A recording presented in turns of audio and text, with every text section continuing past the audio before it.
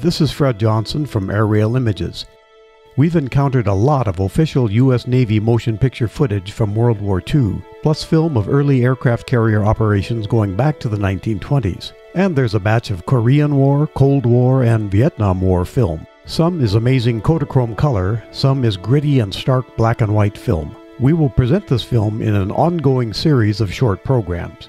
Please watch the Airail Images channel for additions to this film collection. The U.S. Navy did a good job training photographers, both still photo and motion picture, who captured a fleeting moment in time, the World War II era of frantic carrier battles. The film you see here includes Kodachrome shot aboard an Essex class carrier. Possibly USS Lexington, durable Dauntless dive bombers move on the flight deck, their blue, gray, and white camouflage looking smudged and battle worn. F 6F Hellcats land, sometimes with mishaps. A splash filmed to the side of the carrier is said to be the demise of a Japanese Kate bomber.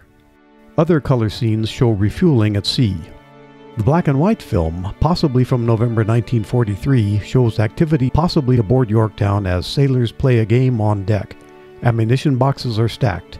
Men are transferred from a destroyer to the aircraft carrier. This is life at sea in World War II. Thank you for watching the Airail Images channel and thanks for subscribing.